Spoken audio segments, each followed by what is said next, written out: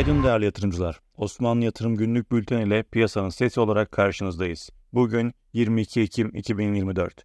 Güne 8798 seviyesinden başlayan BIST endeksi gün içinde en düşük 8642, en yüksek 8807 seviyesinden işlem görürken günü 139.22 puan düşüşle 8654 seviyesinden tamamlamıştır.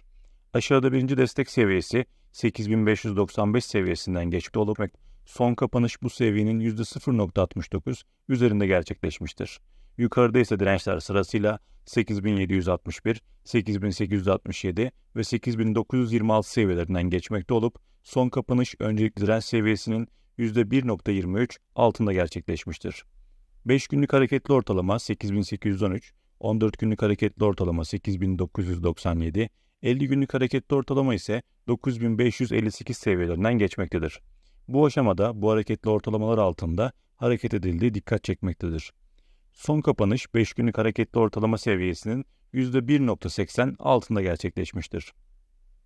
İşlem hacmi bir önceki işlem gününe göre %17.02 düşüşle 12.6 milyar TL düşerek 61.46 milyar TL düzeyinde gerçekleşmiştir. Son 5 işlem gününde ortalama işlem hacmi 74.40 milyar TL olarak gerçekleşirken son günkü işlem hacminde ortalama işlem hacmine göre %17 düşüş dikkat çekmektedir.